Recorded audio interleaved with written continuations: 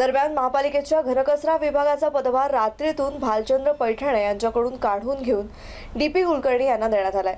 कचऱ्याचा प्रश्न पेटलेला असताना अचानक हा खांदेपालट का करण्यात आला हा प्रश्न निर्माण झालाय.